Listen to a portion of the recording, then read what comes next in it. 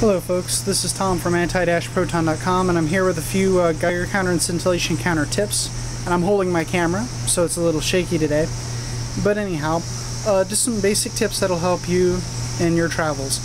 Tip 1. When you have a Geiger counter, be it a analog type like this or a digital type like this, power them on and remember to give them enough time to fully warm up. The reason is because older units like this require 10 to 20 seconds sometimes to fully warm up, and units like this take time to reach statistical accuracy.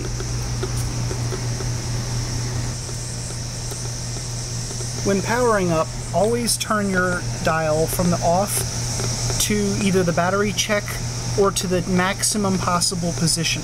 Battery check is preferable if it exists on your unit, and then after that the maximum possible position. The reason for this is you want to know as quickly as possible what your reading is, and if you're in a reasonably high radiation environment, that may not come out right. Let me show you. With the sound cut off, I'm going to turn the power on to the times one position. Let's see what we get. Immediately we hard over. It may take us a second of fine-tuning per position until we realize just how hot the environment is. Only now might we realize that we've been exposed to a lot. Whereas, if we start out in the times 100 position, we will within a few seconds know that we're in a pretty decent little field, but nothing too much. It's the smarter way to do it. At that point we can adjust down by switching to times 100 to 10 until we find a, a setting that's well more preferable for what it is that we're monitoring. For digital units, this isn't required as they automatically go to exactly where they need to be.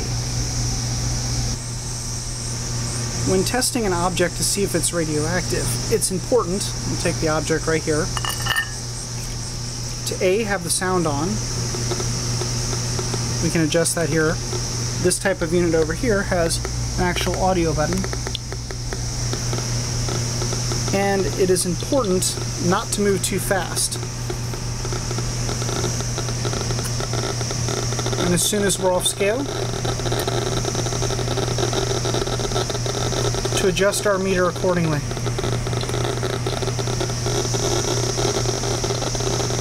You cannot move too fast. Slow is how you do it. The same is also true with the digital model.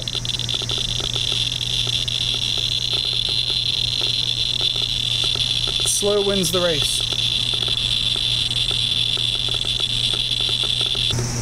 And now lastly, when switching probes on a unit that's capable of switching probes, for example, the CDV700 has been modified to have a high miniature high voltage jack, power the unit off, count at least to 10, and by the way, you should always uh, always either contact your manufacturer or read your manual because the instructions in there may be actually more specific to your unit than what I'm telling you. But if you have no instructions and you're not sure what to do, at a minimum, wait at least 10 seconds.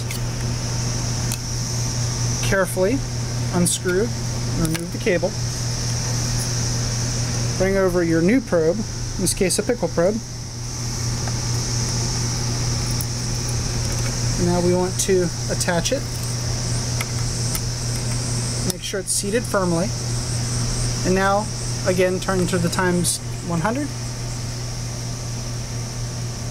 Give it 4 or 5 seconds to build up. Times 10. And now times 1. And at this point we can use it to test.